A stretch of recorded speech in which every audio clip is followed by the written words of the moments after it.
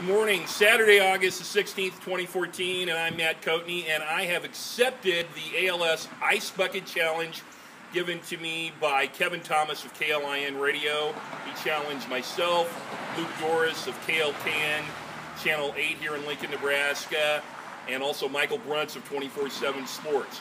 I've accepted the challenge, but I'm also going to let you know I'm not going to challenge anyone else like a lot of people do. I just hope everybody will contribute to uh, the ALS Foundation. I read this morning that in the same time period last year that this Ice Bucket Challenge has been going on, that they have almost tripled their donations and over 70 million new uh, donors have contributed to uh, fighting this dreadful disease.